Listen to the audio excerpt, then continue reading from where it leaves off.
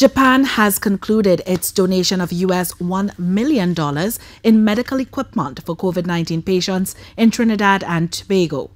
Public hospitals of Trinidad and Tobago received a total of 245 pieces of medical equipment for COVID 19 patients. The donation from the government of Japan and managed by the United Nations Office for Project Services consider, consisted of 100 electrical suction pumps, 30 intensive care hospital beds, 28 ICU patient monitors, 25 infusion pumps, 22 ultrasound portable scanning systems, 15 hospital stretchers, 15 infusion pumps, and 10 ventilator systems.